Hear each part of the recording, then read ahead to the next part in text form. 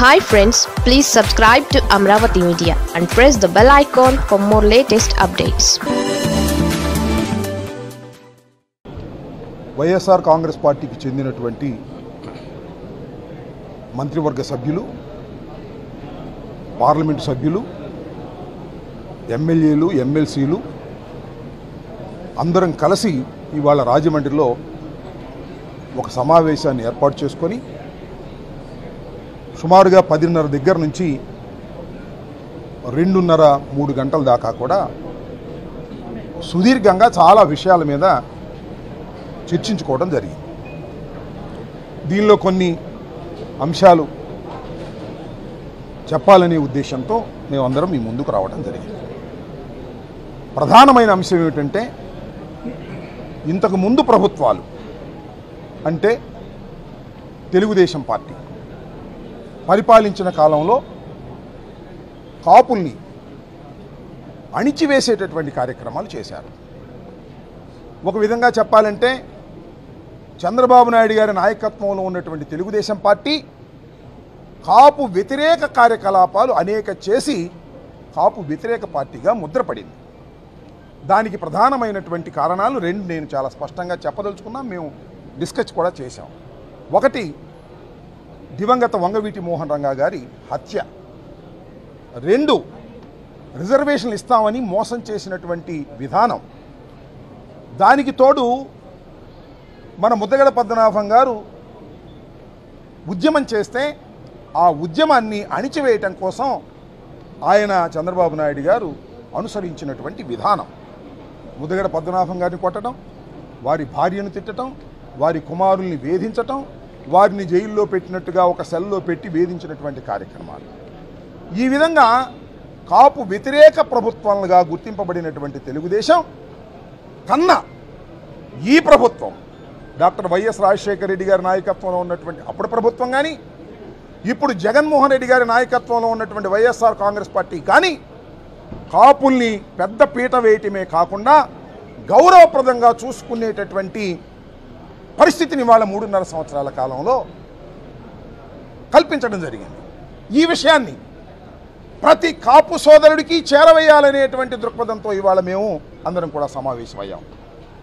ప్రతి కాపు ఈ రాష్ట్రంలో నివసిస్తున్నటువంటి కాపు తెలగ బలిజ ఒంటరి కులాల వారు ఎవరైనా సరే ఇది వాస్తవం. జగన్మోహన్ రెడ్డి గారు పరిపాలనలోకి వచ్చిన తర్వాత ఇందాక మీరు చెప్పారు ఇరవై ఆరు మంది శాసనసభ్యులు ఎన్నిక కాబడ్డారు. ముగ్గురు పార్లమెంటు సభ్యులున్నారు. ఐదుగురు శాసనమండ సభ్యులు ఉన్నారు కార్పొరేషన్ చైర్మన్లు ఉన్నారు అదేవిధంగా మేయర్లు ఉన్నారు ఇంతమందికి గుర్తింపు ఇవ్వటమే కాకుండా ఎప్పుడైతే అణగారిపోతున్నటువంటి కొన్ని కుటుంబాలను ఆదుకోవాలని చాలా కార్యక్రమాలు సంక్షేమ కార్యక్రమాలు చేసినటువంటి విధానం. ఇందాక చెప్పారు ఇరవై ఆరు వేల కోట్ల రూపాయలు ఈ ప్రభుత్వం డీపీటీలో కానీ నాన్ డీపీటీలో కానీ కాపు సోదరులకు ఇచ్చింది. చాలామంది అంటారు. ఏమని? ఏమని మాకే ఇచ్చారా కాపులకే? కడవాళ్ళకి అందరికి ఇచ్చారు కదా అని. ఏ అప్పుడు ఎందుకు వెళ్ళే తెలుగుదేశం? అందరూ బాగుండాలి. అందులో కాపులు కూడా బాగుండాలని భావించేటటువంటి కులం కాపు కులం. అందువల్ల అందరికీ ఇస్తూ వైఎస్ఆర్ కాంగ్రెస్ పార్టీ కాపులకు కూడా పెద్ద పీట ఇంతకుముందు ఎప్పుడు ఇవ్వనటువంటి సంక్షేమ కార్యక్రమాలు కాపు నేస్తమైతేనేంటి మరొకటైతేనేంటి మరొకటైతే ఇచ్చినటువంటి ఘనత ఈ వైఎస్ఆర్ కాంగ్రెస్ పార్టీ జగన్మోహన్ రెడ్డి గారిదని ఈ సందర్భంగా మేము చర్చించుకున్నాం. అదే విషయాన్ని వాడ వాడలా కాపులు ఉన్నటువంటి కాపు సమాజానికి తెలియపరచాలనేటువంటి ఉద్దేశంతో మేము కంకణబద్దులమై ఉన్నామని కూడా మనం చేస్తున్నాం. ఇంకొక విషయం చాలామంది అడుగుతారు ఏమండి ఇదంతా ఏదో పవన్ కళ్యాణ్ గారి కోసమే పెట్టారని. కానే కాదు. కాకపోతే ఒక్క విషయం మాత్రం మేము చర్చించుకున్నాం. ఏమిటంటే పవన్ కళ్యాణ్ గారి ధోరణి. మొన్న పవన్ కళ్యాణ్ గారు మాట్లాడినటువంటి తీరు దానిలో అందరినీ దూషించడంతో పాటుగా కాపు శాసనసభ్యుల్ని దూషించినటువంటి విధానాన్ని ముక్త కంఠంతో ఈ కాపు సమావేశం తీవ్రంగా ఖండించింది. ఇది రాజకీయాల్లో పనికిరాదు. ఒక విధంగా చెప్పాలంటే మా అందరికి అనిపించింది ఏమిటంటే రాజకీయాల్లో పనికొచ్చేటటువంటి వ్యక్తి ఈ భాష వాడు. నేను సీఎం సీఎం అని అనుకుంటున్నటువంటి వ్యక్తి. లేదా ఆయన అనుకుంటున్నాడని నేను అనుకోవట్లేదు. ఆయన ఆయన ఏమో చంద్రబాబు సీఎం సీఎం అని అనుకుంటున్నాడులే కానీ కాపుల్లో కొందరు యువకులు మాకు సీఎం కావాలి పవన్ కళ్యాణ్ అనుకుంటున్నారే?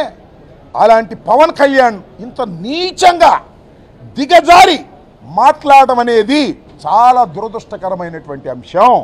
ఆయన రాజకీయాలకు అనర్హుడు అని ఆయన ఆయనే చెప్పుకున్నటువంటి సందర్భం. అంతేకాదు ఒక విషయాన్ని చాలా కూలంకషంగా డిస్కస్ చేశాం. అదేమిటంటే వంగవీటి మోహన్ రంగా గారి మరణం ఆయన మాట్లాడుతూ మొన్న కొత్త భాష్యం చెప్పాడు. ఆశ్చర్యకరమైనటువంటి భాష్యం చెప్పాడు. ఎందుకంటే వంగవీటి మోహన్ రంగారావు గారి హత్య జరిగినప్పుడు మేము అందరం బాధితులం.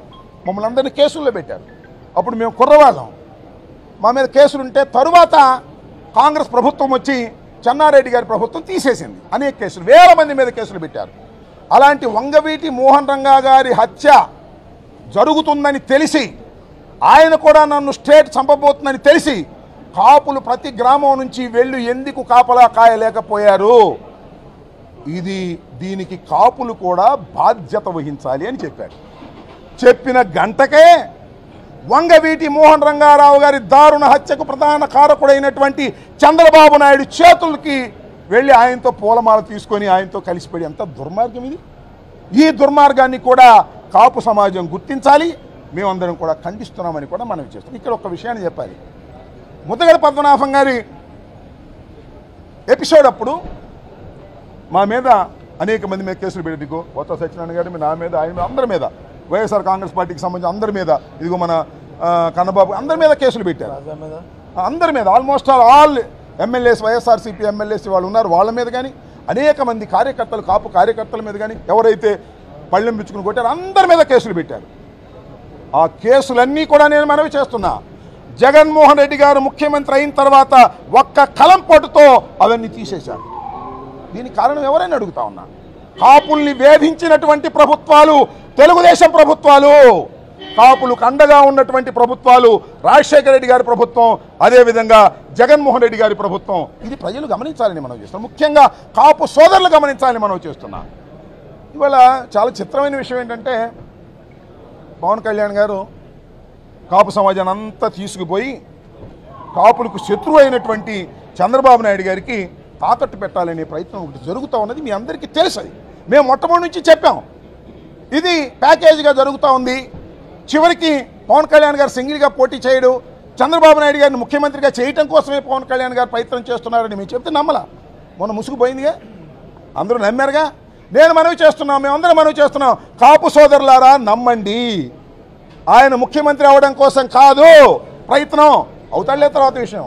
కేవలం చంద్రబాబును ముఖ్యమంత్రిగా చేయటం కోసమే ప్రయత్నం చేస్తున్నటువంటి పార్టీ జనసేన పార్టీ దీనికి కాపులు ఎవరు సపోర్ట్ చేయవలసినటువంటి అవసరం లేదు అనేది ఈ సందర్భంగా మేము చెప్పదలుచుకున్నాం.